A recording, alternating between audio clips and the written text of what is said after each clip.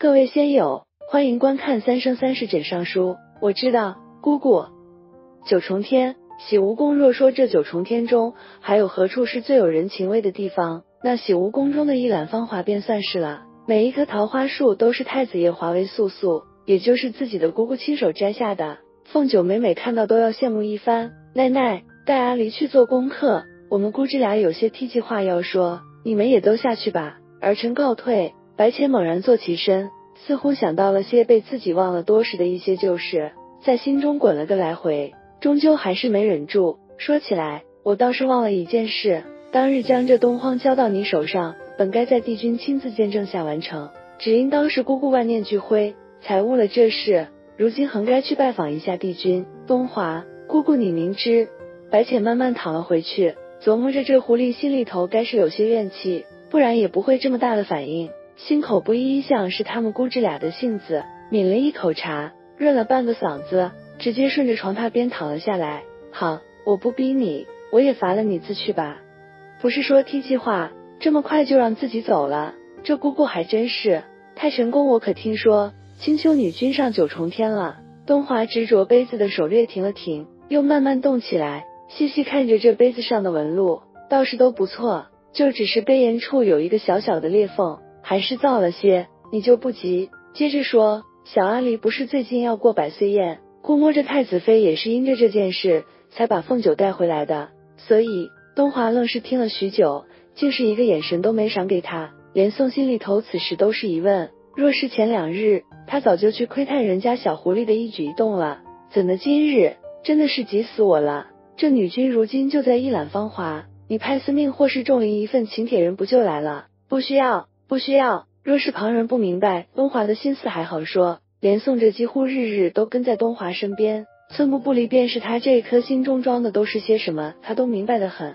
凤九自打入了九重天，就一直是惴惴不安，就算是团在九重天那轻轻薄薄的云被中，也根本没有什么困意，哪怕是带着折颜那壶桃花醉的醉意，也根本不想入睡。你瞧，在义兄眼里只不过是一个宠物罢了。之鹤的那句话一直在他心里抹不下。更躲不开。其实比起之鹤来讲，凤九更无法接受的却是那姬恒与东华之间的那些弯弯绕绕，让自己每每看了便更觉心烦。姬恒是洪荒时代东华帝君座下战龙孟浩的孤女，虽说是个魔族之女，却并不是个娇蛮任性的脾气。只是她自出生起便不知因何缘故中了秋水毒，也因此东华一直将她养在九重天的太晨宫中。是为这同孟浩征战多年的军中情谊。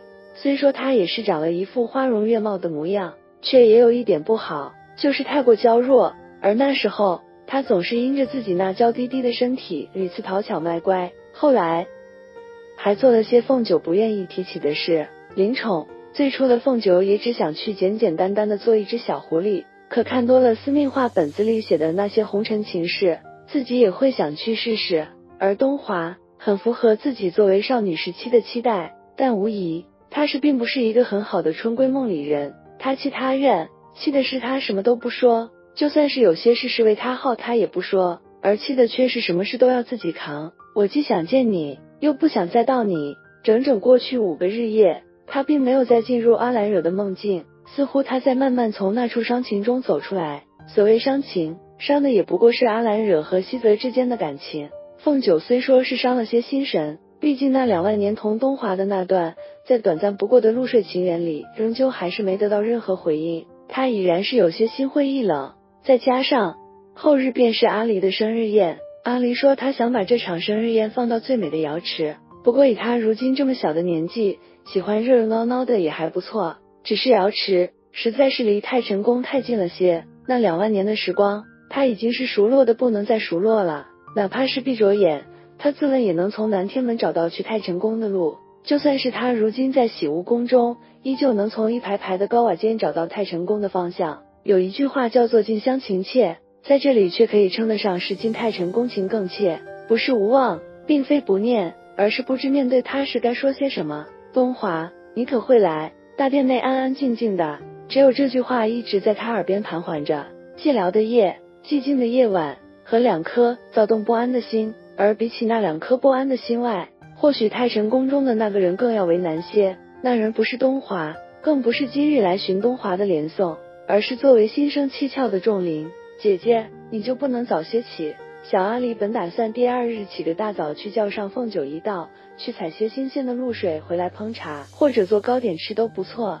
却不曾想，这位凤九姐姐昨日一整夜里翻来覆去的睡不着，却没想到自己在关键时候掉了链子。后来实在是没撑住，一头睡在云被里。而当自己醒来时，却正正看见糯米团子撅得老高的嘴，在小贝面前是有些说不过去。而且自己来这儿就是帮着姑姑照看阿离。自己去，姐姐昨日想了一整夜的事情，都是为了带着你好好在这九重天上好好耍一耍的法子，所以才起得迟了。你原来如此，那姐姐快些洗漱，洗漱好了就随我去瑶池逛一逛，顺带着看看后日的百岁宴摆在什么位置最好看，可好？这阿里的机灵像足了姑姑，而这举止动作却像极了姑父一板一眼，倒是让人忍俊不禁。好啊，反正近来我也无事。姑姑可在一览芳华？禀女君，娘娘并不在一览芳华，而是陪着乐胥娘娘去看看还有什么东西要为小殿下生日宴上添的，怕是一时回不来。我知道了，你让奈奈同我一道去吧。这九重天虽说也是来过许多次，怕也都是过去的事了，有许多路都已经忘记了。凤九褪了来时的一身白衣，换上了九重天的轻纱，一层层的叠罩下，倒是更衬出凤九的好身材。只是这轻飘飘的衣袖和衣服，实在是有些走不开路。左支右绌的，倒是走出了华贵大方的步调来。只是还没等凤九和阿离迈出洗梧宫的大门，便被急吼吼冲过来的米谷给撞了个正着。你是怎么看路的？这么急是赶去投胎吗？凤九摇头暗叹，米谷这人什么都好，唯独是不能遇到急事，不然什么东西他都能忘个精光。凤九女君，东荒。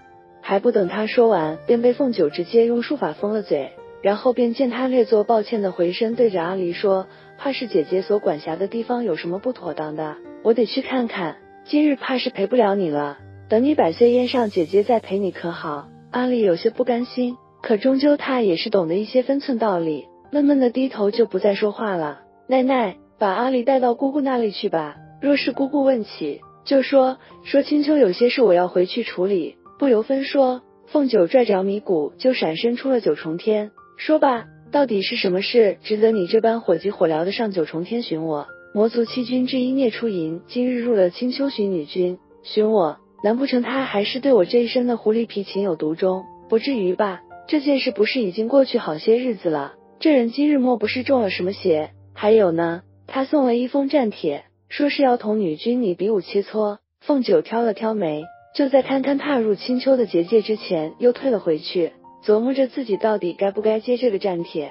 虽说自己一向在武学上下了一番苦功夫，年轻的时候也曾提着自己的剑，打着行侠仗义的旗号四处寻觅美食，但那毕竟都是过去的事。尤其上一次他将自己的狐狸皮给诓走了，害得自己当初险些在阿兰惹的梦境中就此魂飞魄散。虽说后来敌军也没给他留什么好果子吃，但自己也是有气在的。所以自己若是接下，便只能赢。走吧，去见见也好，看他又要说些什么花样。这聂初一说起来也是个十分有意思的君王，他这宫中的一众妃子们，皆是一些人毛的，什么狮子啊、老虎的，却不知为何单单在一次机缘巧合下，看上了这个通体赤红的凤九。是以这位魔族君主对凤九这身毛皮惦记的不是一点半点。上次还是折颜去了这位魔君的府邸，将自己这一身原本的狐狸皮给要回来之后，才算是物归原主。好了，今天就讲解到这里。如果你有不一样的看法，可以在评论区留言，和小影一起讨论哦。赞同小影的话，可以点个赞，支持一下小影哦。我们下期见。